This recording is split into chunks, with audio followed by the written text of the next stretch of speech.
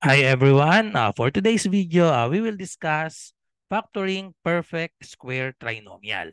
So ang formula for perfect square trinomial ay kapag nasa form tayo na a squared plus or minus 2ab plus b squared, that is simply equal to uh, quantity a plus or minus b square. Okay, so para para wag kayong malito, ipaghiwalay natin ito. So we have a squared plus 2ab plus b squared. So that uh, this is equal to a plus b squared. And then if the sign is negative, so if we have a squared minus 2ab plus b squared, so that is equal to a minus b squared. So take note that the last term is always positive. So the middle term is plus or minus and the first term and the last term are always uh, both positive. So the factored form is a plus b squared and then a minus b squared. Okay, so let's try to solve these five examples.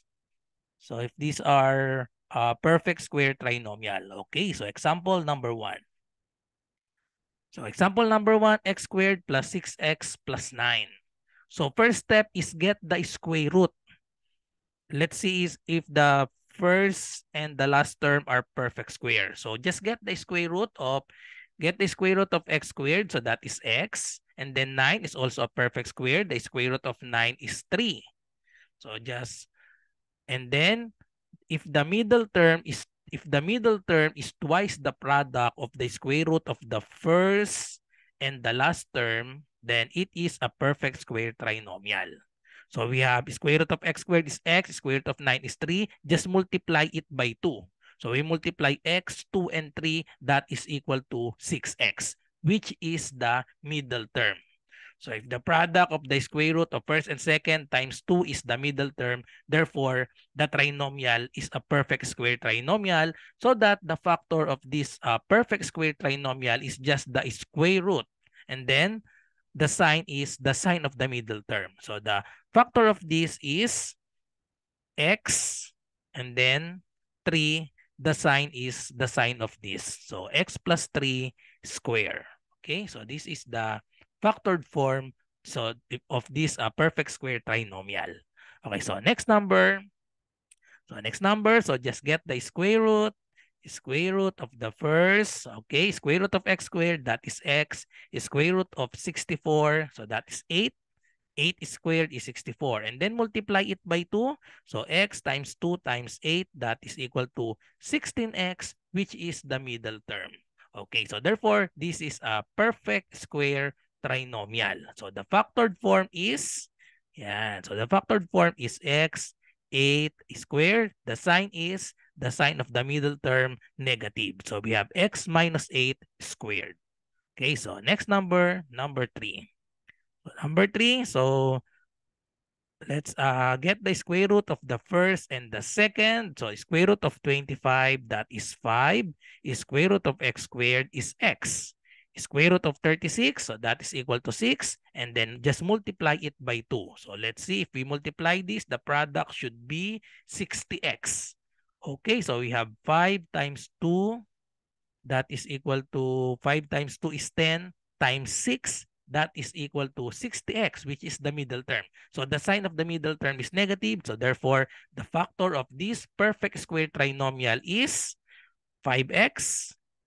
The sign is negative. So minus the square root of 36, 6, and then square. Okay.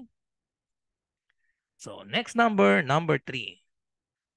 So for number three, so we can see that the exponents are not uh, square. So first, uh, we will use the common monomial since they all have they all have x. So we can factor we can factor the x by common monomial. So we have ab plus ac that is equal to just factor out the common. So we have a times b plus c. So for this, we can factor out the x. Okay, so factor out x. So we have x cubed divided by x. So that will be x squared. So and then we just copy the 5. 5x squared or simply subtract 1 to the exponent. So we have 5x squared minus 30, subtract 1 to the exponent since we factor out uh, 1x. So we have minus 30x plus, we, we already factored this, so plus 45. So now we will apply, since it is now a square, uh, it's now a quadratic, quadratic uh, trinomial. So let's find out if this is a perfect square trinomial. Okay. But uh, we can still uh, factor. We can still factor uh, 5. Because 5, 30, and 45, they are all divisible by 5. And if we if we factor uh 35 and 5 are not perfect square so we can uh we can factor out 5 so we factor out the 5 so this will be canceled out and then divide 30 by 5 30 divided by 5 this this will be 6 and then 45 divided by 5 this will become 9 so now uh, we can use the perfect square trinomial since 9 is a perfect square and also x square. So x squared, square root of x squared is x, square root of 9 is 3. And then multiply it by 2, x times 2 times 3, that is equal to 6x. So therefore, the factor of this trinomial is x, and then the sign is negative, and then we have 3, and then square. So just copy the 5x. So this is the complete factor of 5x cubed minus 30x squared plus 45x. So we have 5x times quantity x minus 3 squared. Okay. So last example, number 5, 16x squared plus 40xy plus 25y squared. So the, our last term is, uh, so we have quadratic trinomial in two variables. So same formula. So same formula. So 16 is 16x squared is a perfect square. 25y squared also a perfect square. So get the square root. So the square root of 16x squared is 4x. The square root of 25y squared is 5y. And then just multiply this. Multiply 4x and 5y and multiply that by 2 to see if this is the perfect square trinomial. So we have 4 times 2 is 8 times 5 is 40. So the product, product is 40 xy which is the middle term. So the sign is positive. So therefore, the factored form is the first term, ayan, or the square root of the first term, 4x, copy the sign of the middle, positive, and then the square root of 25y squared, which is 5y. So we have 4x plus 5y square.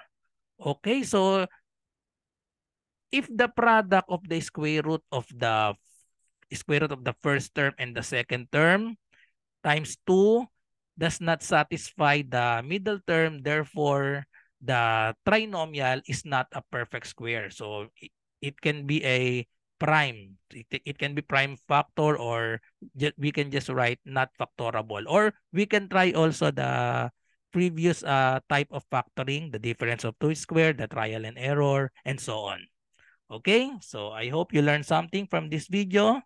So thank you for watching and thank you for watching. And if you have a math question, just comment your question in my channel or in my FB group or just DM me in my messenger, RJ Enseñado. So bye-bye and God bless.